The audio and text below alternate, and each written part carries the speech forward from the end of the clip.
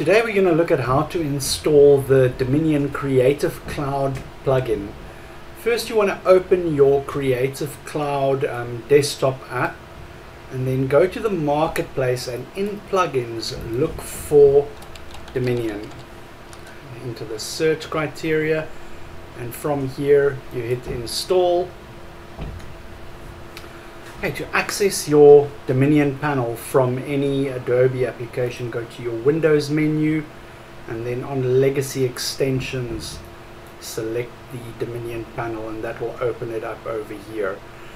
Um, you need to enter the API URL, which is the, this address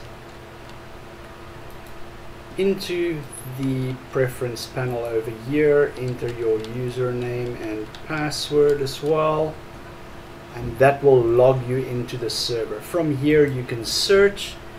So for example we need images of a dog.